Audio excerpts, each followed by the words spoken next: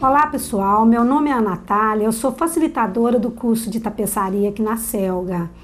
É, hoje eu vou estar aqui demonstrando alguns pontos que eu faço, que eu ensino aqui e que é uma infinidade de pontos, na verdade. Eu vou estar ensinando um passo a passo do tapete arraiolo, mas eu vou demonstrar todo o material que vai ser usado nessa peça e de que forma que ela é executada. E alguns outros pontos eu vou estar mostrando a peça pronta e dando também bastante informação a respeito de acabamentos, variedade de desenhos, formas, posições. Então, o máximo que eu puder, eu vou estar passando para vocês hoje as informações da tapeçaria. Dentre os pontos que eu ensino aqui, esse aqui é o Esmirna. É um ponto bastante encorpado, ele assemelha muito tapete peça e tem uma qualidade muito boa e a durabilidade também enorme, porque o fio que a gente usa aqui é da lâmpada tapete, que é um fio adequado para fazer esse tipo de tapeçaria. É usado aqui esse conjunto de essa agulha com essa régua. Por quê? Essa régua vai me dar o mesmo tamanho do fio. Por quê? Eu demonstro o tamanho enrolando o fio da lã aqui e com a tesoura com a ponta bem fina, eu corto. Eles vão sair todos do mesmo tamanho. A partir daí, eu vou usar esta agulha para fazer esse ponto. É uma agulha bem tranquila para trabalhar, porque ela tem uma molinha aqui, ó. Essa molinha faz toda a diferença nesse ponto, porque é essa molinha que vai travar o fio para eu puxar dentro da trama e voltar com as duas pontas dentro. Assemelha um pouco a esse ponto aqui, que é do acabamento. Porém, esse aqui tem um tamanho uniforme e o mesmo tamanho para ele ficar com a mesma altura. Já esse tapete aqui é um ponto chamado cruz duplo, é um ponto bem fácil de fazer, é bem tranquilo, qualquer pessoa aprende. Isso aqui eu trabalho muito com pessoas idosas. Por quê? Porque além do ponto ser um ponto fácil, eu uso esta agulha aqui, que é uma agulha bem grande, olha, que é a agulha de tapeçaria, né? Essa aqui é a número 14, mas eu trabalho com a 13, a 14 e a 16. Esta aqui eu trabalho quase todos os pontos, eu gosto de trabalhar com esse tamanho, porque ele tem um buraco bem amplo, que dá para passar o fio da lã, bem tranquilo, olha. Isso aqui é muito fácil e a pessoa que já está com problema de visão, com dificuldade, então, e para criança, todo mundo tem como trabalhar, porque é uma agulha grande e esse ponto é um ponto cruz, só que é um cruz duplo. Então ele fica bem cheio, bem encorpado. Nele aqui eu fiz um acabamento, ó. Eu caseei em volta dele todo e fiz uma franja só nas pontas. Isso aqui é uma opção de acabamento. Já este aqui chama quilim. Ele assemelha muito o ponto tricô, ó. Fica bem igualzinho o tricô, mas é feito também com essa agulha e também na tela, na talagaça. Esse aqui já é o arraiolo. O arraiolo, a gente trabalha ele na juta. É o que eu vou fazer uma demonstração aqui, um passo a passo para esse ponto. No passo a passo, eu vou falar mais detalhes desse ponto que é bem interessante. Esse ponto aqui, a origem dele é portuguesa, e onde hoje existe um lugarejo lá chamado Arraiolos, a origem desse ponto é de lá, exatamente pelo nome dessa cidade. Esse aqui é o Casa Caiado. Esse ponto aqui é bastante difundido em Pernambuco. É uma tapeçaria muito rica de informação e é um trabalho muito bonito e onde pode variar em detalhes de cores, de desenhos, eh, faz panôs, muitas peças, uma variedade enorme, porque ele é um ponto delicado e ao mesmo tempo dá para fazer muita coisa que ele dá, ele é um ponto pequeno, por ele ser pequeno, as formas ficam mais perfeitas nos desenhos. Esse aqui já é o ponto rosinha. Esse ponto é um, ponto, um dos pontos mais encorpado em relação a esses outros que eu já passei. Porque para fazer esse ponto aqui, a gente, na verdade, dá seis agulhadas para fazer ele. É, numa outra oportunidade, eu posso estar voltando aqui para poder passar para vocês a informação desse ponto, que ele é bastante interessante, muito bonito e muito fácil de fazer. Esse aqui é mais um do cruz duplo. Esse aqui, a diferença dele em relação a este aqui é o acabamento. Esse aqui tá sem franja nas pontas e esse já tá. Eu gosto muito de trabalhar com esse caseado, porque esse caseado, é, além de dar uma firmeza e uma beleza no trabalho, ele estraga menos do que uma franja, por exemplo. Porque a franja, esse aqui no caso, já está com uma franja. A franja, com o tempo, normalmente, porque esse tapete dura muito, esse tapete é 20, 25, 30 anos, dependendo do cuidado que a gente tem com ele. E a franja, às vezes, ela fica feia, mas como ela é uma franja colocada, a gente pode estar tá restaurando os tapetes, trocando franja, fazendo novos acabamentos, que ele continua bonito como novo. E essa franja aqui, ela é feita separada. É a única franja, é o único acabamento que é feito no tear, que é uma outra peça que a gente faz e coloca ela aqui depois de pronta. Legal dessa franja aqui que a gente pode variar nas cores. Aqui pode usar as cores que estão dentro dele para poder fazer no próprio acabamento, que não é o caso dos outros, que a gente escolhe uma cor e faz somente numa cor. Também eu queria estar tá mostrando para vocês, aqui na Selga, que nós estamos com um material muito bom, muitas telas, muitos desenhos diferentes, que nós temos todo esse material aqui. Esse aqui, por exemplo, é um desenho infantil mais para menino, né? Aqui, ó, tá um trenzinho, carrinhos. Então é um tapete infantil. Esse aqui para fazer panô, que é uma paisagem. Esse aqui de bicho, ó, que é um cachorro. Aliás, dois cachorros, né? Outro infantil, feminino, ó. Também isso aqui. Isso aqui é uma peça de um jogo de vaso. Ó, esse aqui põe em volta do vaso e normalmente acompanha a tampa e o piso. Não necessariamente, depende do tamanho e do espaço que, que a gente tem. Aí pode usar uma peça só. Essa aqui, inclusive, está muito bonita, com um colorido muito bonito. Então, gente, como eu prometi um passo a passo do arraiolo, aí vai a lista do material que vai ser usado. Para fazer o tapete arraiolo, você vai precisar de uma tela juta, lã para tapete, agulha número 14 para bordar, agulha número 20 para o acabamento, tesoura média, uma fita crepe de 2,5 de largura e linha 10 de pipa. Primeiro, inicia-se pelo barrado. O que é o barrado? Normalmente o tapete vem com esse desenho aqui bem definido, mas nem todos necessariamente tem que ser. Mas a gente inicia sempre pela carreira de fora.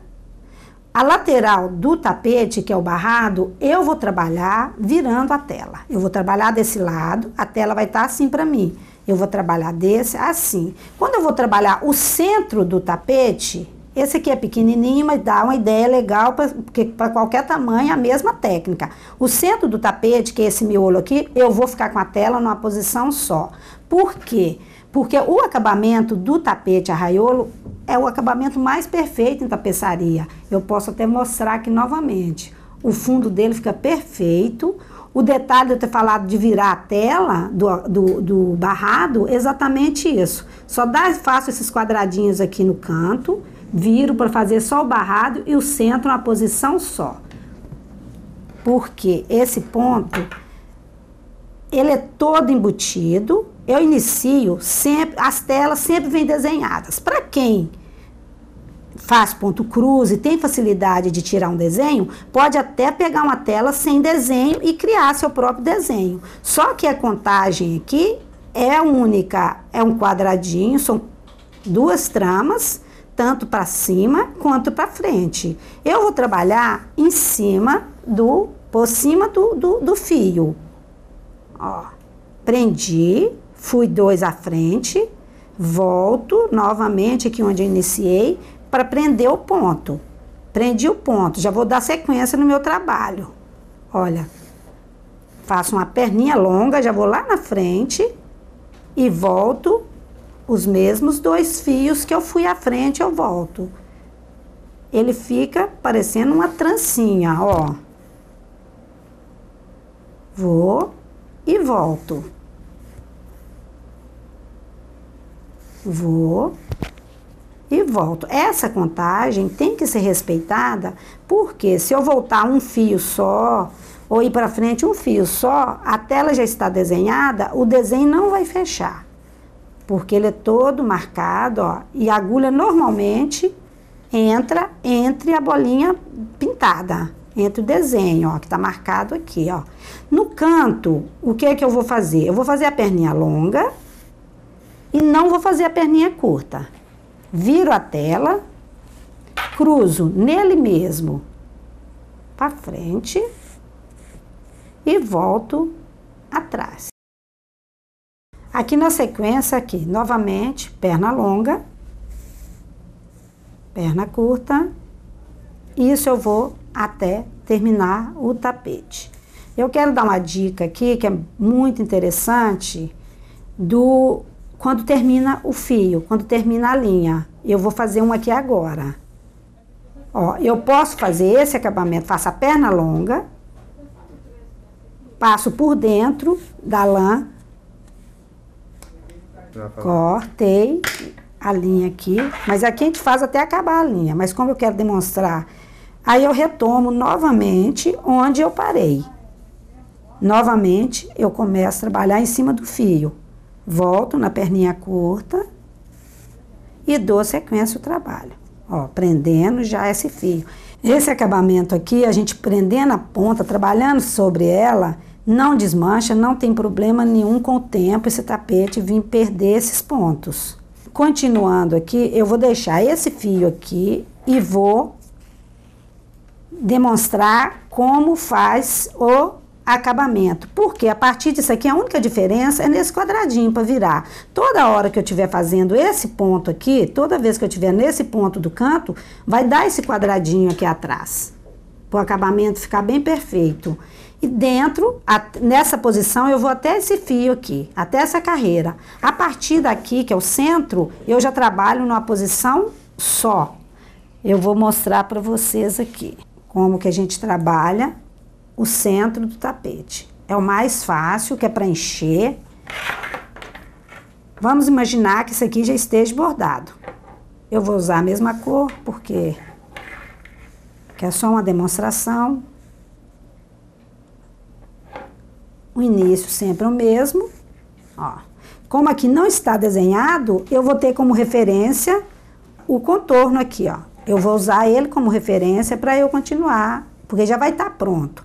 E o bom do tapete é o seguinte: eu aconselho sempre para minhas alunas, é, principalmente quando está iniciando, fazer todo o contorno. O que, que é todo o contorno? É todo o desenho. A partir daí, terminei de fazer o contorno, aí eu vou encher cada desenho, que aí eu vou trabalhar as cores, eu vou ver o que que combina com o que, é, o, dependendo o que que minha aluna quer, qual espaço que ela quer usar na casa dela, qual ambiente. Então aí a gente vai trabalhando de acordo com a necessidade do ambiente e, de, e de, da decoração também, porque aí a gente tem eu tenho 25 anos que eu trabalho com isso, então a gente, com o tempo, a gente adquire uma experiência no assunto, né, e que torna assim, assim, mais fácil entender, porque a gente consegue visualizar uma peça pronta mesmo antes de iniciar, que é o mais difícil, porque a dificuldade maior que as pessoas têm. Não é de aprender o ponto ou de desenvolver um trabalho,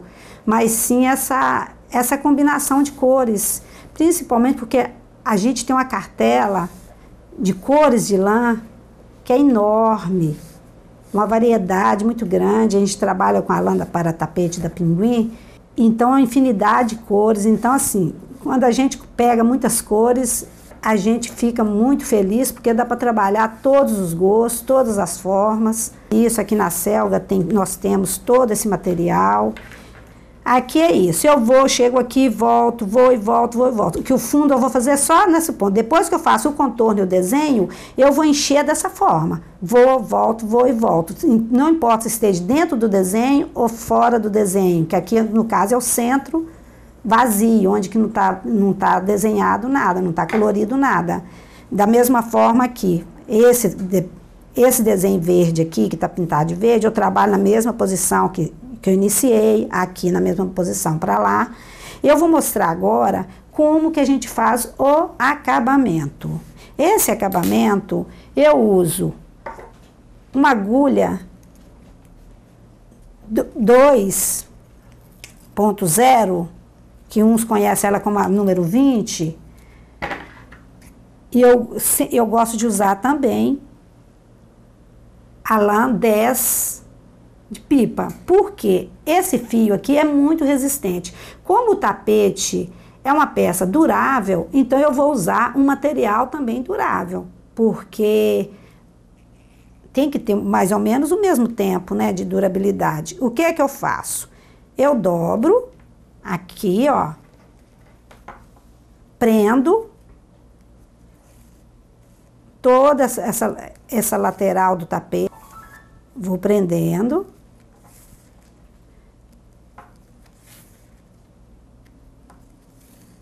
Esse acabamento que eu vou demonstrar aqui é o caseado.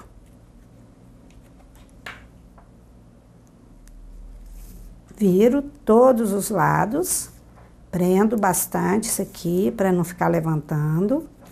Não tem problema tá aparecendo ponto, por quê? Eu vou mostrar o porquê desse que não, de não ter problema de, de ficar o ponto grande aqui, porque na verdade isso aqui é para prender. Ó, prendi. Eu venho com a fita crepe de 2,5 de largura e prendo sobre essa, essa, essa dobradura minha aqui.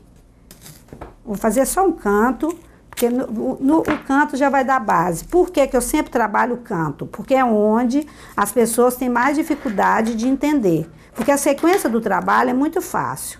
Põe de um lado, do outro, dou uma viradinha aqui. Por que, que eu ponho essa fita? Porque quando eu vou fazer, eu uso a mesma agulha, né, do bordado, Vou colocar um outro fio aqui. Vou pôr um fio claro. O que que eu faço? Eu prendo aqui dentro essa agulha. Por que que eu vou prender ela aqui? Porque eu vou trabalhar em cima dessa linha, então não vai ter problema. Vou voltar um pouco aqui atrás. Ó. Esse caseado aqui tem duas formas de fazer ele. Eu posso fazer ele normalmente, sem nada aqui, só liso. Quando eu vou fazer ele, que eu vou colo coloco franja nas pontas, eu trabalho ele simples assim. Só vou fazendo igual o caseado de camisa, porém sem aquela laçadinha de, de casa, não de camisa, de casa. E venho desenvolvendo meu trabalho bem pertinho, não um em cima do outro, para não ficar um maior e outro menor, bem pertinho do outro. Vem fazendo. Eu vou fazer até chegar nesse canto aqui para eu mostrar como que é feito esse canto. Como eu falei antes, o desenvolvimento do trabalho é muito fácil. Pegou esses detalhes, que são detalhes assim, primorosos. São detalhes assim, importantes, porque faz toda a diferença no tapete. Como eu estou chegando aqui numa quina. Nessa quina, cheguei no último ponto, eu posso marcar com a caneta para ficar mais fácil. Eu dou um risco aqui bem em direção ao, ao bico aqui do, do meu canto e venho descendo. Às vezes fica um pouquinho assim mais duro, porque está dobrado duas vezes mas nada que, que a agulha não entre. Eu venho descendo. Ó. Vou descendo.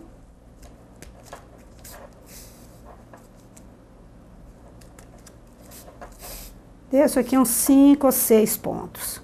Quando eu chego aqui, não tão no, que eu não posso chegar até no final, porque se eu chegar até aqui no canto, ele vai ficar pontudo. Então, cheguei mais ou menos, bem, bem no final aqui, e, vou, e começo a repetir. Vou repetindo, vou ajustando esse ponto mais do que os outros. Por quê? Porque eu vou repetir ele aqui várias vezes até fazer essa curva aqui, ó. Que é o canto. Para ficar bem cheio. O porquê que eu uso a fita? Exatamente porque a trama é meio aberta. No que a trama é meio aberta, a linha pode escorregar e a fita dá essa firmeza no fio para trabalhar e fica liso. Então, e essa fita fica aí dentro. Às vezes me pergunta, ah, mas quando lavar a fita não sai? Ela não vai sair, que ela está to tá toda trabalhada em cima dela aqui, e se ela sair, o trabalho já está pronto, não tem problema. E ela, mas ela não sai porque ela está toda presa dentro da linha. Ó, vou fazendo até virar o cantinho, até encher o canto. Enchi o canto, vou voltando. Aqui eu faço, repito mais uns, que aí esse aqui volta. Eu posso ir dando amassada, pego a agulha, a própria agulha, vou fechando meu canto. Enchi o canto, eu volto, fazendo o mesmo processo que eu desci. Aí eu vou subir e dou sequência trabalho. Viu como é fácil? Não tem nada de difícil. Às vezes as pessoas vêm e fazem a dedução que é uma coisa difícil, mas não é. Aqui principalmente tem que ter gostar, lógico, né? Que é, o primeiro passo é esse. É gostar e querer fazer. Que difícil não é. Bom, depois da peça pronta, é, existe um produto que a gente passa no fundo dele, que é uma resina. Por que, que a gente precisa passar essa resina? Para impermeabilizar o tapete. Tem vários motivos dessa resina. Primeiro, para o tapete não ficar escorregando. O tapete nunca deve escorregar. Mesmo o tapete que a gente põe que a pessoa escolhe colocar em qualquer outro espaço da casa, ou às vezes não querem colocar no chão, querem colocar na parede. Esse produto ajuda o quê? Melhorar o trabalho. Se, o, se a tela, se às vezes dependendo do ponto que a pessoa tem, pode ficar um pouquinho torto. Então, esse, essa resina, a gente estica o tapete, prende numa madeira, e passa esse produto embaixo. O produto que a gente usa aqui é uma resina própria, só para tapeçaria. Às vezes me perguntam se pode passar qualquer resina. Mas não, a, a, resina da tapeçaria é essa porque ela é maleável, ela não deixa o tapete duro, mas ele fica firme e, to, e totalmente esticadinho e, não, e esse produto não é diluído na água, ele é passado puro, como ele vem, na forma que ele vem. Porque ele secou, ele não sai mais, ele não sai do tapete. Às vezes as pessoas usam cola, cola branca, dilui na água e, e no tapete. Porém, na primeira lavada que está no tapete, solta e tem que repetir o mesmo processo. Então a gente usa um produto de qualidade que é feito para sempre. Isso aqui não precisa de ser renovado, passado novamente no tapete, porque não solta. Ela é própria para isso, é uma, é uma resina muito boa. E aí fica o trabalho pronto. Isso é a finalização da peça. Depois da peça toda pronta, toda bordada, acabamento, é, a última, é o último passo para terminar seu trabalho. E aí é só curtir a peça em sua casa, no espaço no, no, que você achar melhor e adequado. E eu aproveito para convidar você que quer fazer um curso de tapeçaria, quer aprender novos pontos, ou você já faz, ou quer tirar dúvida, venha fazer o curso aqui comigo na Selga. Os meus horários aqui são na quarta-feira, às 15h30, às 17h50. Eu tenho um horário também na segunda-feira, das 18h30, das 18h30 às 21 que é um horário novo que a gente vai iniciar. E no sábado, pela manhã, Nesse, nesse ano de 2014, nós vamos iniciar aqui no dia 11 com os cursos de verão. E o meu curso é exatamente no primeiro dia da volta, que é no dia 11, de 8 às 11 horas. Eu aguardo vocês aqui para a gente fazer muito trabalho bonito, divertir muito e aprender muita coisa juntas.